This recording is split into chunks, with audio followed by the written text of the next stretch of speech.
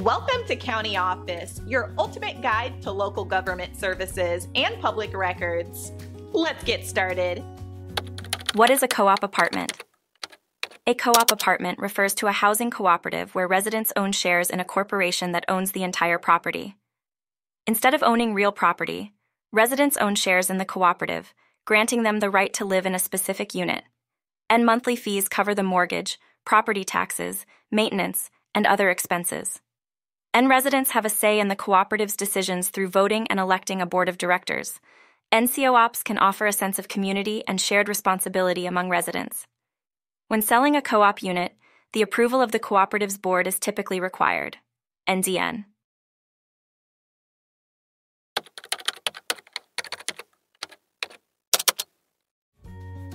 To learn more, check out these links, which you can click in the description below and feel free to comment your questions. We're here to help. Thanks for tuning in to our video. Please like and subscribe and leave a comment below. See you in the next video.